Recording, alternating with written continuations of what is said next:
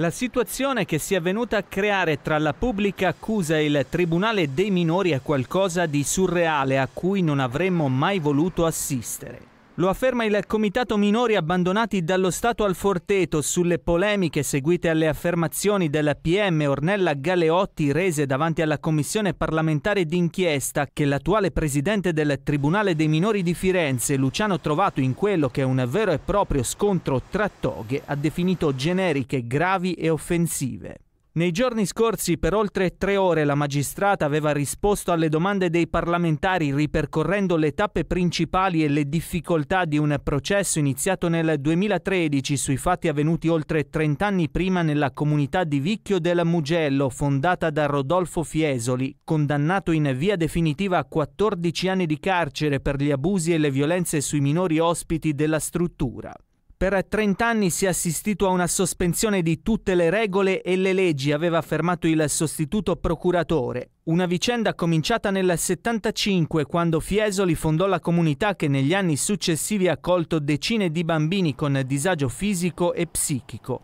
Ribadiamo la nostra piena disponibilità per poter far vedere alla Commissione parlamentare la vicenda con gli occhi di chi si è visto cambiare la vita tante volte, aggiunge il Comitato dei Minori. Le affermazioni del Tribunale dei minorenni ci hanno fatto ripiombare in uno stato di sfiducia che non approvavamo da tempo. Ci aspettiamo una maggiore capacità di autocritica in grado di comprendere gli errori commessi in passato in modo che non vengano ripetuti nel futuro.